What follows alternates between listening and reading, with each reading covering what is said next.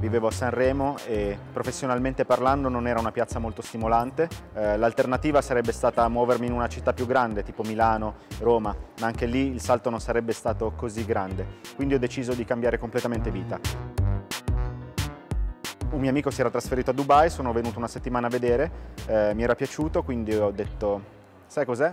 L'anno prossimo io vivrò qua. Ambientarmi non è stato facile. Come tanti italiani, come tanti stranieri, ho fatto l'errore di pensare che venendo qua automaticamente avrei avuto successo, sarei diventato ricco dopo due mesi.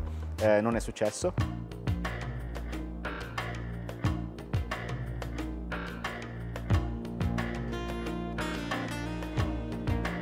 I primi mesi ero anche sposato e soltanto mia moglie lavorava e io cercavo di fare molte pubbliche relazioni, andavo a incontrare agenzie, andavo a incontrare possibili clienti e questo mi ha permesso di lanciarmi nel mondo di Dubai come fotografo.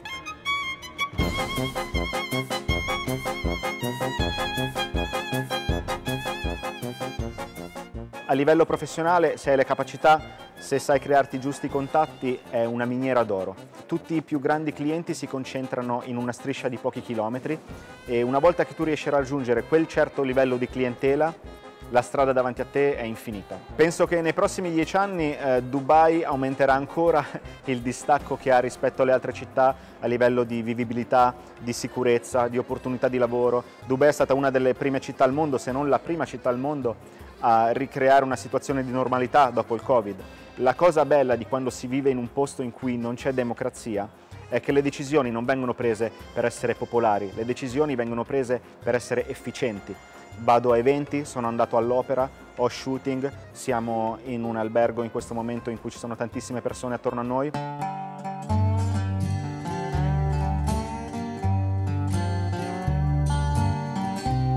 Un'altra delle cose che mi piacciono di Dubai è che puoi venire qui e non fare soltanto una cosa. Io ovviamente sono partito come fotografo e videomaker, ma sono finito anche a fare il modello. Ho brand che mi pagano per usare i loro orologi, per mettere i loro accessori sulla mia macchina, per usare i loro vestiti. Sono eh, stato nominato da Esquire la persona meglio vestita nel Middle East e questo è un grande traguardo perché se penso che quando ero in Italia ero eh, grasso, ero fuori forma, eh, mi vestivo male, poi sono venuto qui, sono diventato un riferimento in eleganza, sono sulle riviste.